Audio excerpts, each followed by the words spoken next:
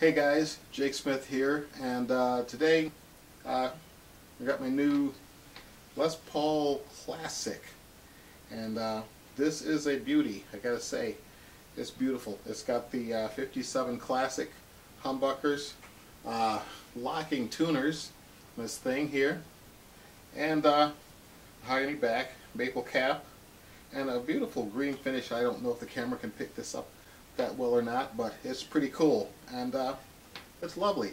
Um, no poker chip here, but uh, and uh, no uh, coil taps, but man, it is really cool. Uh, let's see here. I'm gonna play a couple of things for you. Uh, hopefully it'll go good. I'll be using some backing tracks from a former band, and I gotta say that I'll be using my Proco Rat for the distortion, and I'm playing through an Egnater 40 watt tweaker so it's all good. And um, I'm using the Rocktron G200 uh, effects unit and that's pretty cool too. So let's give it a go. Let's see what happens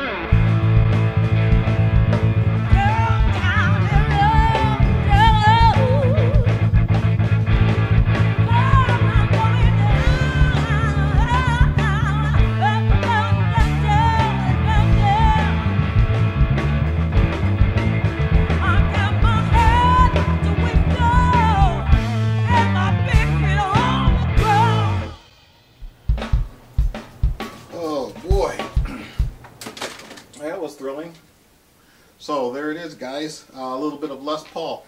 And uh, Gibson's done a really good job on these things. I know a couple years ago they had a couple of uh, interesting uh, ideas about guitars, uh, their own, and uh, I think they've gotten back to what's important. And if you could just see this beautiful binding and beautiful fretwork. I mean, all of their guitars get the uh, treatment now, and it's just fantastic. So keep on playing, keep on doing what you do on whatever instrument you're playing. Just keep on doing it, and uh, be safe. Peace.